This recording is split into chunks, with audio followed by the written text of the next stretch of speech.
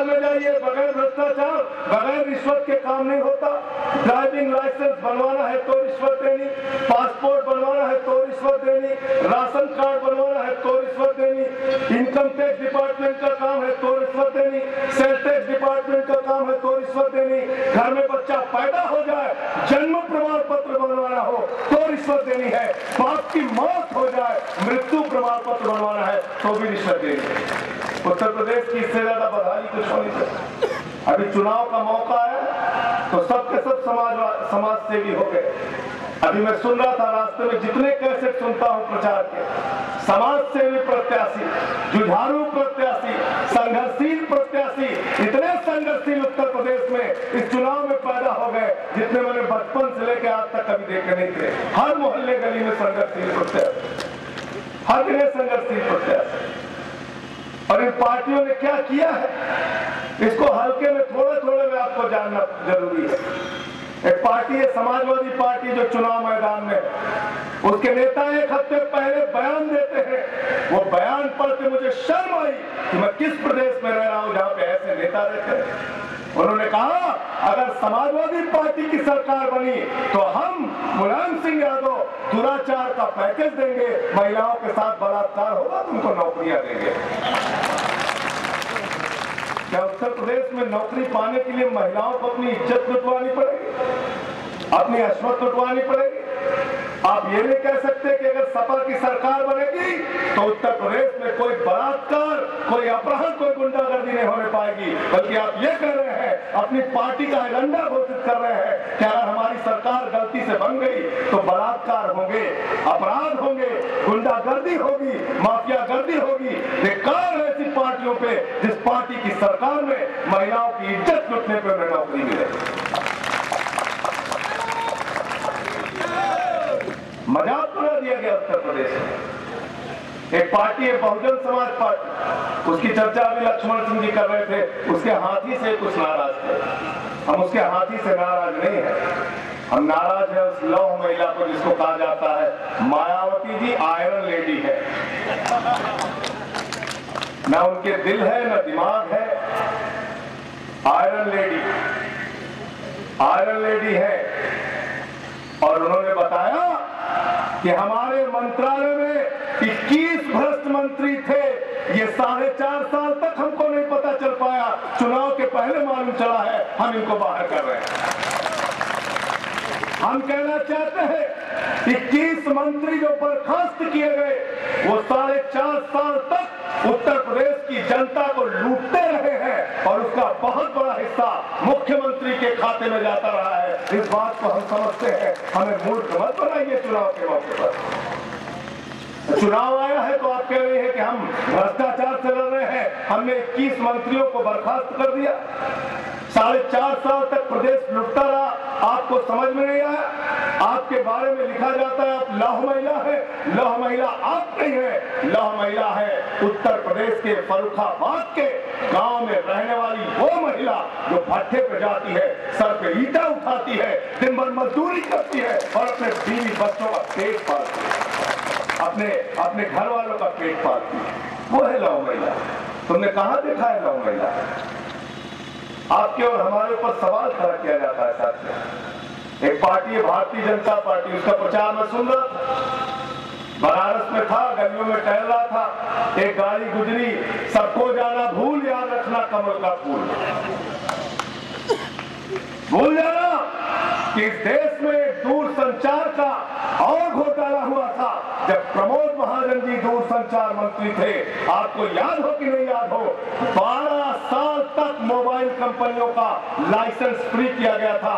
छत्तीस हज़ार करोड़ का घोटाला हुआ था। इलियास आदमी साहब बेहतर जानते हो वो लोग आज कह रहे हैं आज उत्तर प्रदेश में स्वास्थ्य सेवाओं की हालत सर, एनआरएचएम का घोटाला हुआ, दो सीएमओ की हत्या हुई, एक डिप्टी सीएमओ आत्महत्या कर लेता है, एक इंजीनियर आत्महत्या कर लेता है, पाँच हज़ार करोड़ का घोटाला स्वास्थ्य सेवाओं में होता है उसके सबसे बड़े आरोपी बाबू सिंह कुशवाहा को भारतीय जनता पार्टी में शामिल करती है और कह रही है कि हम भाजपा, हम भ्रष्टाचार से लड़ रहे हैं। आप भ्रष्टाचार से लड़ रहे हैं? आप इस तरीके से भ्रष्टाचार से लड़ेंगे भ्रष्टाचारियों को अपने साथ में लेके आज एनआरएचएम का घोटाला आपको मालूम है? पाँच हज़ार करोड़ और उस पाँच हज़ार करोड़ में नेताओं अधिकारियों ने स्वास्थ्य सेवाओं के पैसे को अपनी अयासी में, होटल और दारू में खर्चा किया है। ऐसी सरकारों को हम आप बर्दाश्त कर रहे हैं। कितने घोटालों की चर्चा आप करेंगे और एक देश की सबसे बड़ी पार्टी है कांग्रेस पार्टी, जो भ्रष्टाचार की जनरेटर है। गंगोत्री, सारी नदियाँ, सारे भ्रष्टाचार वहीं से निकलते उसके एक नेता है कपिल सिब्बल जी, संसद में कह रहे थे, आओ हम सारे भ्रष्टाचारी लोग मिलकर ये तय करें कि हम ये रैली करने वाले, धरना करने वाले, प्रदर्शन करने वाले, हम इन बाहरी लोगों के कहने पर कोई कानून नहीं बनाएँगे। हम कहना चाहते हैं, अब तो हज़ार बारह में जवाब पूछने का वक्त आ गया है। हमारे दरवाजे पे उन पार्टियों के नेता आएँगे तो हम कहेंगे, हम बाहरी लोग हैं, हमारे वोट की तुमको ज़रूरत नहीं है यहाँ से जाओ। कहना चाहिए कि नहीं कहना चाहिए? जब संसद में आप कह रहे हो, देश के सर्वोच्च सदन में कह रहे हो कि देश की जनता बाहरी लोग है तो उसकी वोट की ज़रूरत तुम्हें क्यों पड़ गई? क्यों आ रहे हो चुनाव? चुनाव आया है तो मैं देख रहा हूँ। कोई कह रहा है ठाकुर के नाम पे दे दे बाबा। कोई कह रहा है ब्राह्मण के नाम पे दे दे बाबा। कोई कह रहा है हिंदू के नाम पे दे दे बाबा। कोई कह रहा है मुस्लिम के नाम पे दे दे बाबा। कोई कह रहा है दलित के नाम पे दे दे बाबा। कोई कह रहा है अगड़ा के नाम पे दे दे बाबा। कोई कह रहा है पिछड़ा के नाम पे दे दे बाबा। लेकिन अगर हम जाति और धर्म के नाम पर इनको वोट देते रहे तो ये हमारा सब कुछ लूटते रहेंगे लूटते रहेंगे लूटते रहेंगे, ये हम कह रहे हैं। खत्म कीजिए इन बातों को। बहुत हो गया, चौसठ साल से आपको इन खानों में बांट दिया जाता है। आप रोटी मांगते तो आपको जात बता दी जाती है। आप पानी बिजली रोज़गार मांगते हो तो आपको धर्म बता दिया जाता है। आप भ्रष्टाचार के खिलाफ कानून मांगते हो तो आपको धर्म के आधार पर बांटने की कोशिश की जाती है। हम कहना चाहते हैं, न तेरा है, न मेरा है, ये हिंदुस्तान सबका है। नहीं समझी गई ये बात तो नुकसान सबका है। इसको हिंदू और मुसलमान के दायरे में मत बांटो। अगर सड़क पे गड्ढा होगा तो उसमें हिंदू भी गिरेगा, मुसलमान भी गिरेगा, अगर भ्रष्टाचार से सड़क बनेगी। अगर बिल्डिंग की छत में भ्रष्टाचार होगा और भ्रष्टाचार की छत गिरेगी तो उसके नीचे बैठने वाला हिंदू, मुसलमान, अगड़ा और पिछड़ा सबके सब दबेंगे और मरेंगे। अब ये कहना चाहते हैं, ये हिंदू, मुसलमान का मुद्दा नहीं है, ये देश की लूट का मुद्दा है। और लूट भी कोई सामान्य नहीं साथ एक घोटाला होता है कॉमनवेल्थ गेम्स का घोटाला। घोटाला हुआ सत्तर हज़ार करोड़। एक घोटाला हुआ दूर संचार का घोटाला। घोटाला हुआ एक लाख छिहत्तर हज़ार करोड़। एक घोटाला हुआ विदेशों में काले धन जमा करने का। घोटाले के बारे में रिपोर्ट आई। स्विट्जरलैंड बैंक एसोसिएशन की रिपोर्ट है। उन्होंने कहा, सत्तर लाख करोड़ रुपए हिंदुस्तान के उद्योगपतियों भ्रष्ट नेताओं का आज स्विट्जरलैंड की बैंक में जमा है। ये मुल्क गरीबी भुखमरी, अशिक्षा और बेरोजगारी झेल रहा है और लाखों करोड़ रुपए लूट कर विदेशों में जमा है और हमको आपको गुस्सा नहीं आ रहा है, साथियों। आपको मालूम है, इस देश में एक हिस्से में एक वो हिंदुस्तान है। हमारे पैसे से हमें ही उपहार बांट रहे ये किसका पैसा है भैया? ये मुलायम सिंह यादव जी का खानदानी पैसा जिससे लैपटॉप बांटेंगे। ये मायावती का खान क्योंकि कौन है धर्मनिरपेक्ष? कौन है सांप्रदायिक? मेरी तो समझ में नहीं आता। एक दिन मैं सोचने लगा रात में 12 बजे। मेरी आँख खुली, मैंने कहा, सोचूं जरा, कौन है धर्मनिरपेक्ष और कौन है सांप्रदायिक? पहले नेता याद आए, लालू प्रसाद यादव। मुझे याद आया उन्नीस सौ नवासी में लालू जी थे भारतीय जनता पार्टी के साथ।